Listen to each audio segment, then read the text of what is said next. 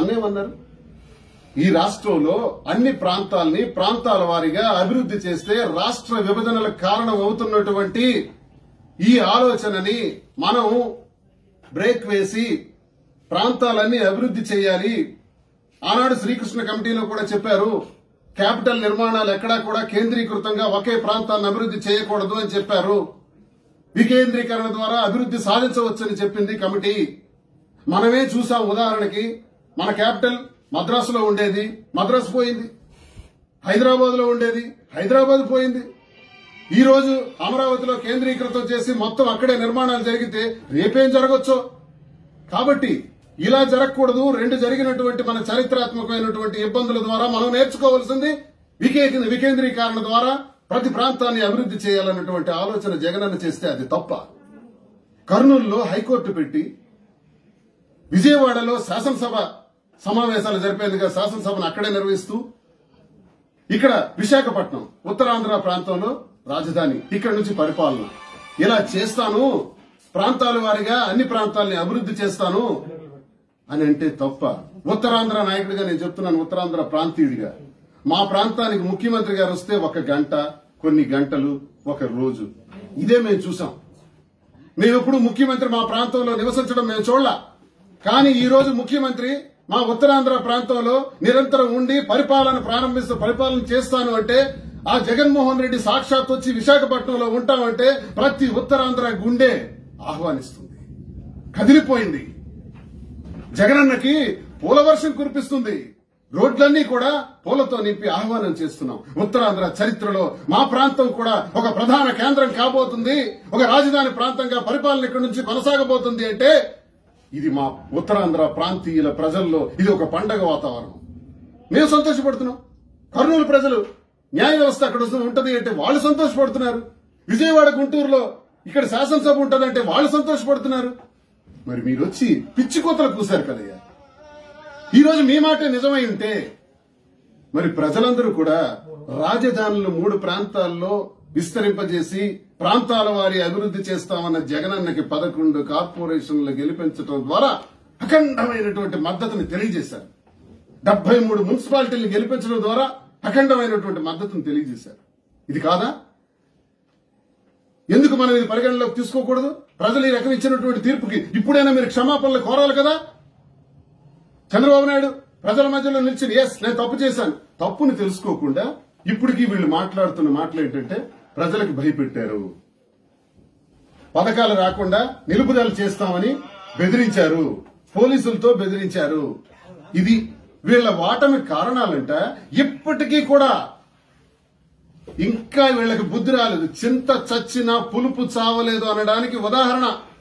ఇన్ని జరిగినా కూడా అయ్యో మేము ఈ తప్పు చేశామే ప్రజలకు మోసం చేశామే ప్రజలకు అన్యాయం చేశాం రౌడీజం గూండాయిజంతో కాలం గడిపాం ప్రజలకు చెప్పిన మాట ఏదీ చేయలేకపోయాం. అందుకే మాకు తగిన శాస్తి జరిగింది. అందుకే మాకు ప్రజలు ఓడించారు. అని ప్రతిపక్ష పాత్రని నిర్వహించాల్సింది పోయి ఈ రోజు ఈ కారణాల వల్ల పథకాలు అమలు చేస్తే పథకాలు నిలిపి పథకాలు సైకిల్ గుర్తు కోటేస్తేనే పథకాలు ఇస్తాం అని వేదిక మీద చీఫ్ సెక్రటరీని కూర్చోబెట్టి రాష్ట్రంలో హుకుం జారీ చేసింది చంద్రబాబు నాయుడు. అదే చీఫ్ సెక్రటరీతో రాజకీయాలకు అత అతీతంగా పథకాలు ఇవ్వాలి మనం. కులం లేదు మతం లేదు జాతి లేదు జెండా లేదు రంగు లేదు రాజకీయం అసలే లేదు. ప్రతి ఒక్కడికి కూడా ప్రభుత్వ పథకం అంది తీరాలి. అసలు నాకు ఓటేయకపోయినా పర్వాలేదు. వాళ్ళకు కూడా ప్రభుత్వ పథకాలు అందాలని తెలియజేసినటువంటి మొట్టమొదటి ముఖ్యమంత్రి భారతదేశ చరిత్రలో శ్రీ వైఎస్ జగన్మోహన్ రెడ్డి గారు అని నేను తెలియజేస్తున్నాను. ఇది కాదని ఎవరైనా తెలుగుదేశం పార్టీకి చెందినటువంటి ఒక్కడంటే ఒక్కడు. మాట్లాడగలరా అని అడుగుతున్నాను. ఎస్ రాష్ట్రంలోనో ఈ జిల్లాలోనే వద్దాం. ఎక్కడైనా. మీకు ప్రభుత్వ పథకాలు ఆపేస్తాం ఓటైకిపోతాయని ఒక్క ఒక్క దగ్గర ఎక్కడే ఒక సింగిల్ ఇన్సిడెంట్ చూపించండి. అసలు పథకాలు ఆపడానికి ఎవరి చేతిలో ఏముంది? అది వెబ్సైట్ క్రియేట్ అయిపోయింది. ఆన్లైన్లో అర్హత ఉంటే చాలు ఎవరి సంబంధం లేకుండా అరువుడికి పథకం వెళ్ళిపోతుంది. ఇంకా ఆపే శక్తి ఎవడుకుందంటాను నేను. ఆల్రెడీ పంచాయతీల్లో అదే విజయం చూపించారు. ఇప్పుడు ఇక్కడ కూడా అదే విజయం చూపించారు. ఆపే శక్తి లేదు. మీలా కాదు మాన్యువల్. ఇష్టం ఉంటే సైకిల్ కొట్టేస్తే ఇవ్వడం సైకిల్కి ఇవ్వకపోతే ఇవ్వకపోవటం అనేది ఇక్కడ జరగదు. సరే రాష్ట్రంలో చూపించండి. పోనీ శ్రీకాకుళం జిల్లాలో చూపించండి. ఇక్కడ ఒక తెలుగు దొంగల పార్టీ అధ్యక్షుడు ఇక్కడ ఇక్కడ ఏడ్చాడు కదా ఇక్కడ.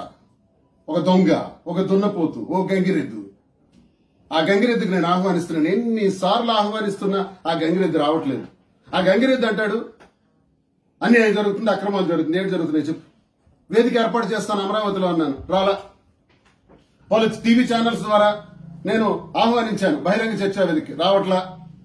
మన విశాఖపట్నంలో అంటాడు ఉక్కు కర్మాగారానికి ఆ ఆంధ్రుల హక్కు విశాఖ ఉక్కు ఓకే మేము అదే చెప్తున్నాం. ఉద్యమాన్ని ఎత్తుకున్నదే వైఎస్ఆర్ కాంగ్రెస్ పార్టీ. దానికి లీడ్ తీసుకున్నారు విజయసాయి రెడ్డి గారు బ్రహ్మాండంగా ఉద్యమాన్ని ముందుకు తీసుకెళ్తున్నారు. ఇది ప్రజల పక్షాన ఉండాలని ప్రతి ఒక్కరు కూడా ప్రజల పక్షాన పోరాడుతున్నాం. నువ్వు చేసింది ఏంటి? ఎంపీలు రాజీనామా చేయాలి. ఎంపీలు రాజీనామా అంటే ఇది రాజకీయ కోణం. కేవలం ఏదో టైం పాస్ చేసి తప్పించుకోవడానికి ఎన్నికల్లో నాలుగు స్థానాలు సంపాదించుకోవడానికి వేసినటువంటి ఎత్తుగడ. ఈ రోజు విశాఖపట్నంలో ఏం జరిగింది? చిత్తు చిత్తుగా మిమ్మల్ని ఓడించారు. ఇప్పుడైనా బుద్ధి తెచ్చుకోవాలని కోరుతున్నాను నేను.